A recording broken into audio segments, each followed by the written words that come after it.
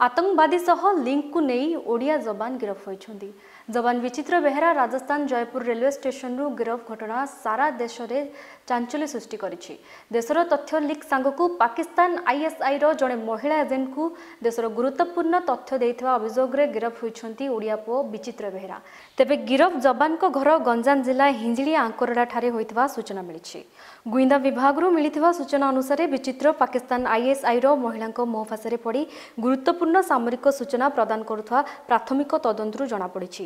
ବିଚିତ୍ର ଦେଉଥିବା ସୂଚନା ସତ୍ୟ ହେବା ଆଧାରରେ ତାଙ୍କୁ ବ୍ୟାଙ୍କ ଆକାଉଣ୍ଟରେ ଟଙ୍କା ବି ମିଳୁଥିଲା ତେବେ ସାମରିକ ସୂଚନା ଲିକ୍ ହେବା ଘଟଣାର ତଦନ୍ତ ବେଳେ ବିଚିତ୍ରର ଚାଲିଚଳନ ଉପରେ ସନ୍ଦେହ ହେବାରୁ ତଦନ୍ତ ବେଳେ ସୋସିଆଲ ମିଡିଆରେ ବିଚିତ୍ର ପାକିସ୍ତାନୀ ଏଜେଣ୍ଟ ସହ ସମ୍ପର୍କରେ ଥିବା ଜଣାପଡ଼ିଛି ବିଚିତ୍ର ଗତ ଦୁଇ ବର୍ଷ ହେଲା ପାକିସ୍ତାନୀ ଏଜେଣ୍ଟ ସହ ସମ୍ପର୍କରେ ଥିବା ଜଣାପଡ଼ିଥିଲା ତେବେ ପ୍ରଥମେ ଫେସବୁକରେ ବନ୍ଧୁତ୍ୱ ଉପରେ ସେମାନେ ଅନ୍ତରଙ୍ଗ ଆଳାପ କରୁଥିଲେ ତେବେ ପାକିସ୍ତାନୀ ମହିଳା ଅନ୍ତରଙ୍ଗ ଆଳାପ ମାଧ୍ୟମରେ ସୈନ୍ୟ ସୂଚନା ହାସଲ କରିନେଉଥିଲେ ଓ ସୂଚନା ପ୍ରମାଣିତ ହେଲେ ବିଚିତ୍ର ଦାବି ମୁତାବକ ଅର୍ଥ ତା ଆକାଉଣ୍ଟକୁ ଟ୍ରାନ୍ସଫର କରିଦେଉଥିଲେ। ବିଚିତ୍ର ବିରୋଧରେ ସରକାରୀ ଗୋପନୀୟତା ଅଧିନିୟମ ଧାରାରେ ଜୟପୁର ସ୍ୱତନ୍ତ୍ର ଥାନା ମୋକଦ୍ଦମା ରୁଜୁ କରିଛନ୍ତି।